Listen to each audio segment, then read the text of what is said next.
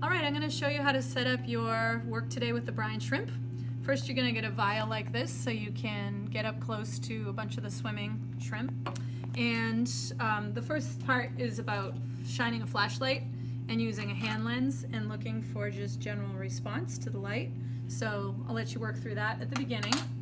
When you're ready for part two, that's when you're going to place a shrimp on a slide. And I'm using a depression slide today, so you're going to use one like this it has a little concave dip in the center where you'll place your water drop with the shrimp in it. So I'm going to open the vial very carefully and make sure I'm uh, holding it carefully. I'm going to use this little pipette and I'm going to observe and I'm going to try my best to find a swimming shrimp and get it into my pipette. So I try to get it in there. Right, and then I want to take my first drop and place it onto the slide. It's often a little air bubble you'll want to pop if that happens. Get a little more on that one. Okay, and then I would take the hand lens and observe and see if anything's swimming in there. You might be able to see it right away, but if not, if there's nothing swimming, take blotter paper, wipe it away. And do that again. You should have more water in your pipette still. So go ahead and take another drop.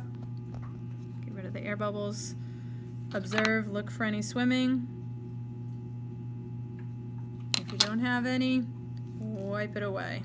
It might take you three or four tries in the pipette and you might even need to go back and get another one. But once you find something swimming, you will go through this technique, have some more blotter paper ready. You're going to need to dab the edges, blot away the water, and try to keep wherever the shrimp is swimming um, in the drop without getting rid of that. So you want to go on an opposite edge. If I see a shrimp swimming on this side, I want to go on the opposite edge very gently, and I want to soak up some water. Careful that I don't put it right on top and take the shrimp.